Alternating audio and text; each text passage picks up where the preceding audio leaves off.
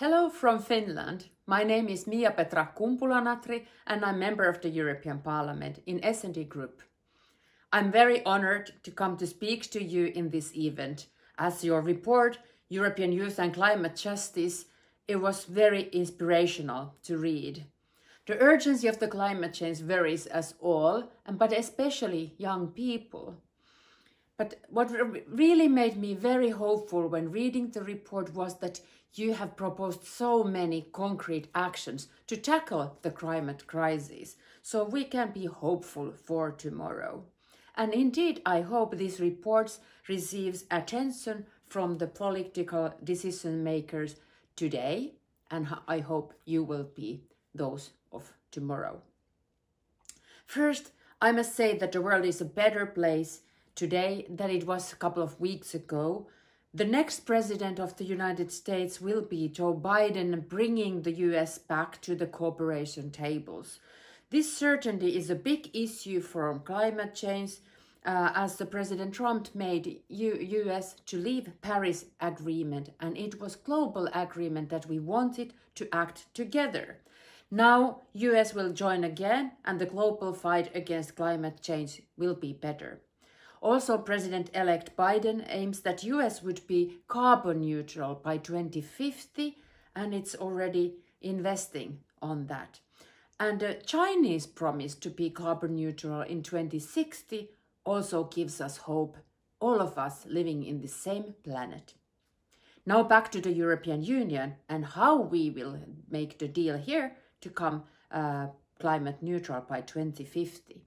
Actions are needed now. What is well pointed out in your report is that to save our planet, we need to be able to transform our economy and the whole society. Here we talk about the systemic uh, change. Our economy has been based on the fossil fuels and the link between economical growth and fossil fuels has been too clear. Now this is, has already started to change and EU has taken clear steps on the right direction and decouple all and all economic growth from the greenhouse gas emissions.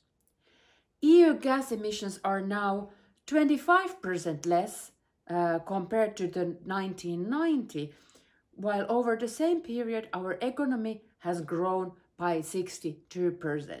This is important for the uh, justice and fair transition as the economic uh, economy needs to be also in the focus.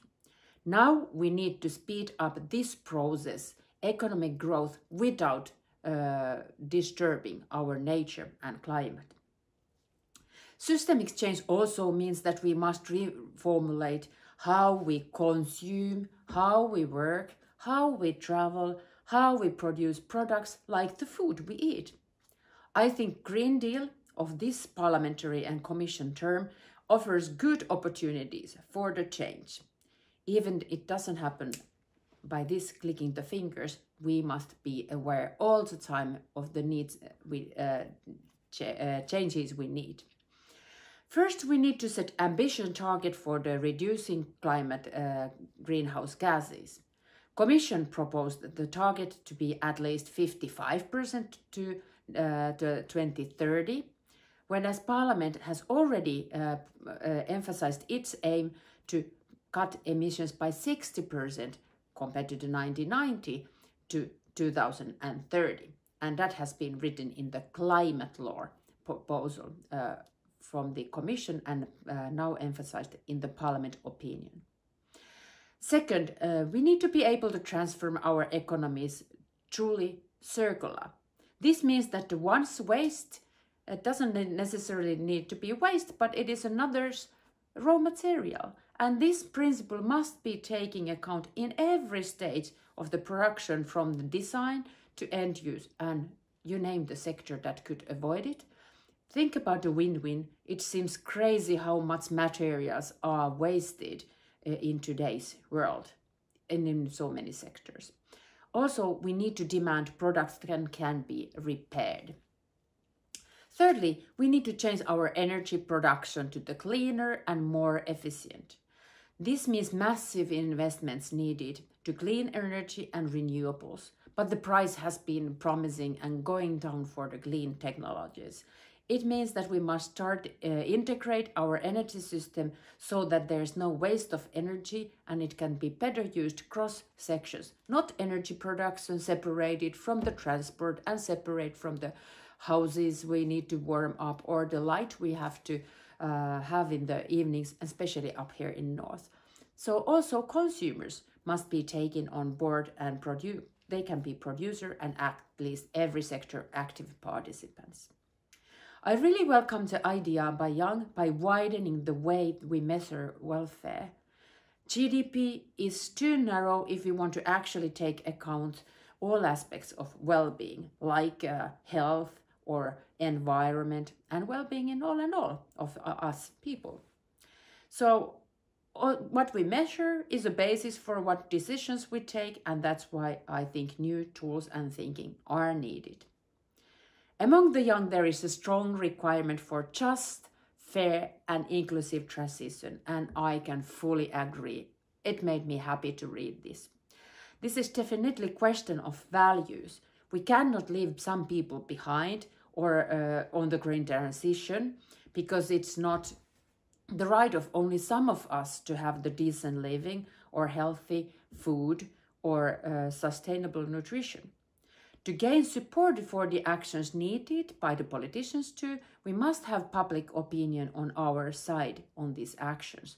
And to make just uh, transition just will bring more people on board.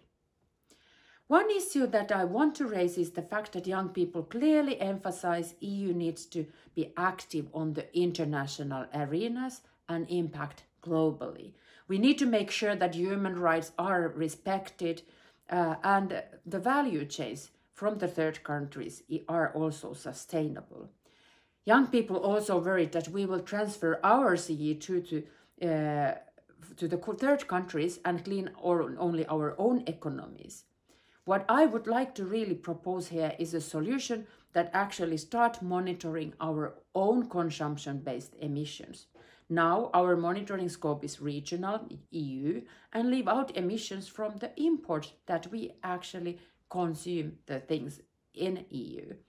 We must monitor and make, take account these uh, emissions if we wish to genuinely be carbon neutral by 2050.